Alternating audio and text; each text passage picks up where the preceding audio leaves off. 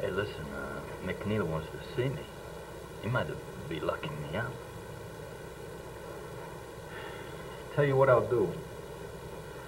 If he hauls you in, I'll send one of my girls down there. She'll put some money on the books for you.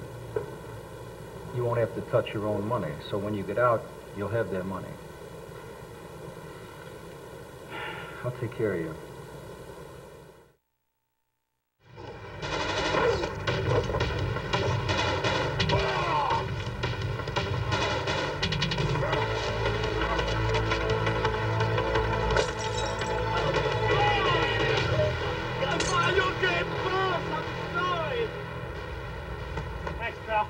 I'm sorry. Are you okay, boss? I think your friend Joe's working for the feds. Who told you that? A guy we pay. A cop. Are you sure?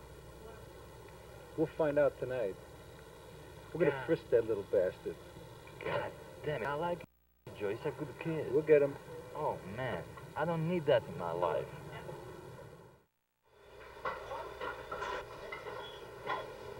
Here you go, pal. Say, where's your extinguishers? Hey, hey, hey, hey, hey, hey.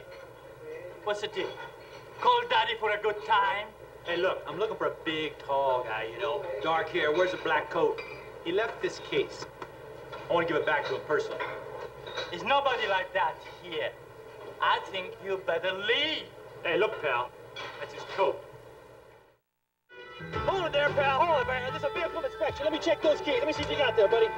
What, what, keys are stunning. Come on, those ain't right. What Those the keys, fuck pal. you Hey, doing? come on, buddy. What do you think you are, huh? what the fuck you doing? God damn it. Ben, you can't use keys like this. Fucking shit.